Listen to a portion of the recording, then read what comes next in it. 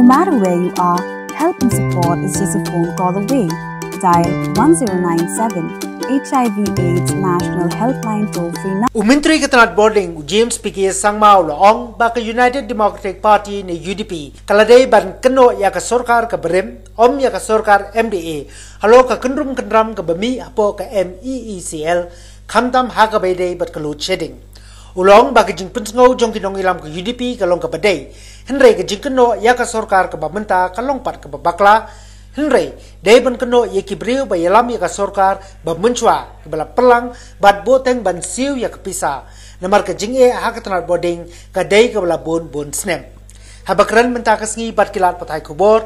ujem sulong ba ga jingdap ram jong ga bigelia energy corporation limited ne meecl ka dei menta la bon bon snem bat kam dei ka basuk ban pen bait no marmar. henry don kam ya jingi e troi lang da ka bau loong ba ka sarkar ka persangkat bala ban weng ya ki jingte bat ka don kam ru ya ka jingkasan bat ki jingi e troi lang jong ki pait ba ulaong ba ka UDP ka dai ban keno. Ya ki tu ki bala kular. Ya ka pisa ka ba pras ba sau sau klur henry ka bam chim la pun or long satya. Ka bala pelong pat ya ka MECL bahkan hab ban buria nakapla hadu news pa khat ar klur ban siu ya ki nong trei ujiam sulong chuchu badai ban keno ya gibreu ke bela soy ya ka power purchase agreement. Bela wanra jing e menta ya gejela yes i read about that and uh, the thing is that i understand where that comes from i think that uh, i share the kind of concerns of the udp and its leaders in uh, expressing something like that uh, that uh, there is uh, you know during the examination time, students are facing a lot of challenges, a lot of difficulties. In general, the public faces so many difficulties every time the electricity goes off. And uh, I share that concern with them, and I appreciate the fact that they are bringing this to light, and they, uh, you know, they are uh, speaking about it. Um, but I, uh, you know, I'm just uh, would like to say this that their concerns are very genuine but their, uh, their approach is very misdirected. I think that the approach should have been that this is dues of the previous so many years.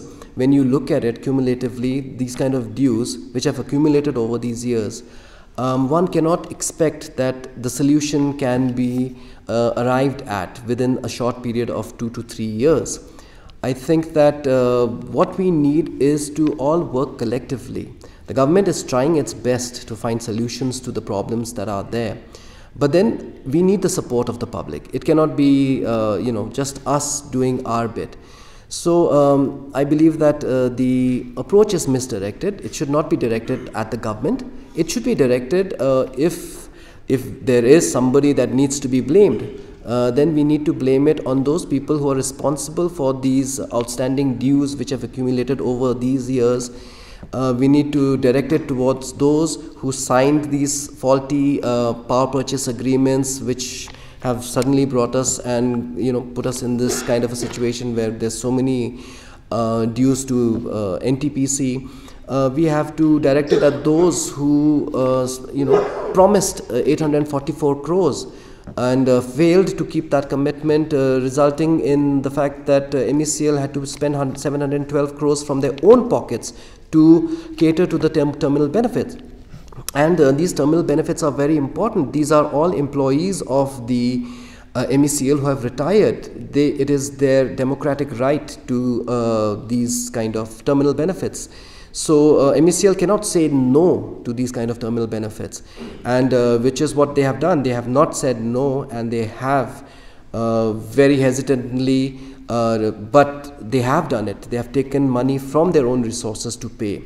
So I think that um, this kind of direct, uh, you know, sort of uh, approach should have been directed towards those kind of people, not towards the government of the day, which is trying its level best today. And everyone knows that uh, today the government is trying its best and uh, because of our efforts load shedding has been only there in the past uh, this is the lean season this is the worst time of the year wherein we have constant load shedding if you look at the past uh, you know you make a comparison uh, we can remember what kind of load shedding we would have hours and hours on end But here we are, uh, because of the efforts of this government, that we have been able to reduce that load shedding to only that specific period of four to three to four days where uh, NEEPCO and other power generating companies regulated our power.